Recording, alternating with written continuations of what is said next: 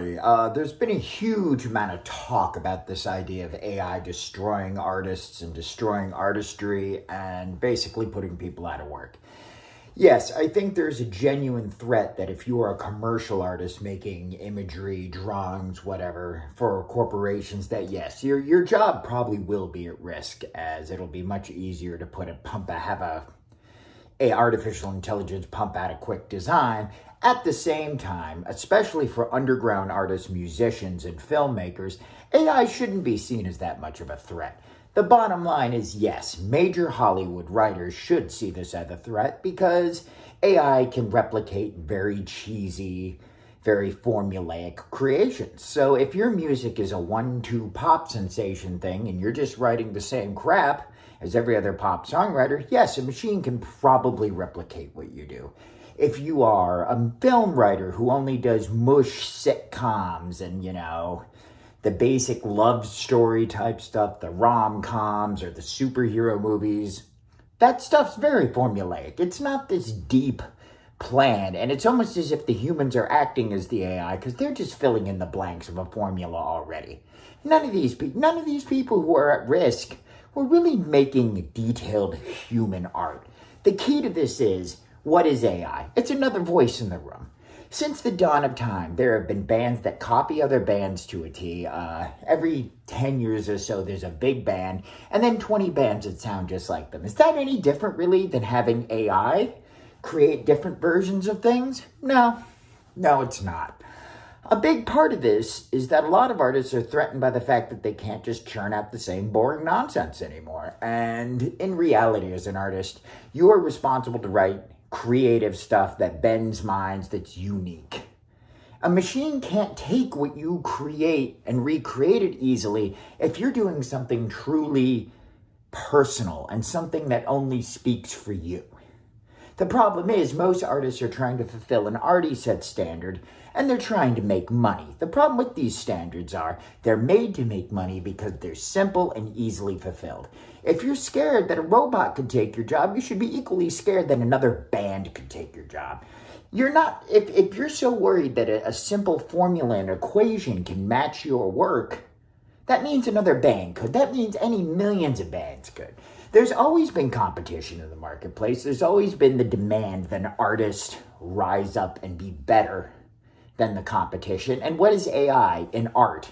But another set of competent people. It's a competing voice. That's what it is. The bottom line on this AI shit is that if you're threatened by it, you probably need to examine your own work and realize hey, maybe I don't feel confident what I'm doing. Maybe I need to work harder to create a unique idea. I mean, this is not to say I don't feel bad for people who are recently out of work. I mean, the pandemic put a ton of other people out of work too. I mean, I worked in film production for years and I no longer do. Had to make a huge life change in that. But on a whole, I don't feel any less of a musician because AI can make an album that sounds just like Oasis or an album that sounds just like an album that sounds just like Metallica. I'm not threatened by this because I'm neither of those artists. And if they want to make an album like me, they're going to have to work pretty hard because I think I do some pretty weird stuff. Whether you love it or hate it, it's strange. It stands to its own. It's its own voice. So if a computer can do what I do, and people like what the computer does better, I need to look at myself and go, what am I doing wrong as an artist? Art is not an absolute. And if you can't compete in the world with a with a formulaic machine coming after you, you can't really compete with human artists either. I think this AI thing, it's, it's here to stay. It's not a trend. It's going to keep going. But on so many other levels, it's going to be just another voice in the room, and you can adapt to it, you can use it, you can utilize it, but in the end, your taste, your discernment, all of this belongs to you. As an artist, everything is a tool. I mean, I remember people, when I'm old enough to remember when people thought digital tracking was cheating.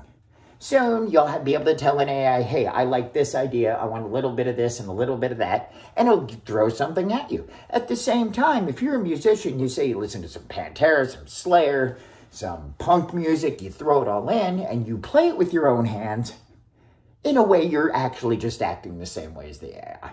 I know it's not that simple and it's not that easy to boil down, but in the end, you shouldn't, as a good artist, you shouldn't be threatened by this.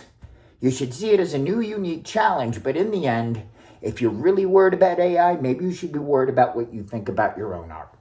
I think AI is like anything, it's an opportunity, it's a permanent change, just like Napster was, just like, you know, DVD turning into streaming. We've survived all of these things to varying extents. I mean, the money isn't what it was, but things always evolve, they always change.